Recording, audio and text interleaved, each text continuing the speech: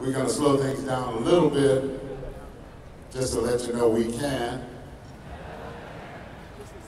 But this one is something that uh, is on our Hues of a Different Blue recording.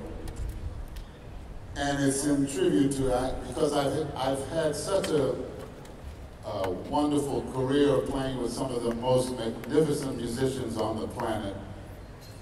Starting here in Chicago, I cannot tell you, uh, because when I got a chance to go to New York City to, to play, I had a lot of training and a lot of learning and a lot of getting together right here in this city. Thanks to this man over here, Joe Segal. Y'all know him, right?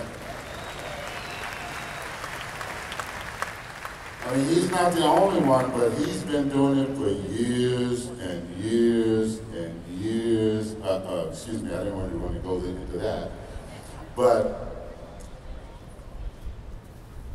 since I was in New York, I started in New York playing with Thad Jones Mel Lewis Orchestra and uh, did a lot of work with Lee Konitz, who I met here, a lot of J.J. Johnson, Bobby Hutcherson, Harold Land, et cetera, et cetera. But uh, the gentleman who I got a great pleasure of playing quite a lot and recording with, and I can only call him the eloquent one. His name is Mr. Hank Jones, the eloquent one.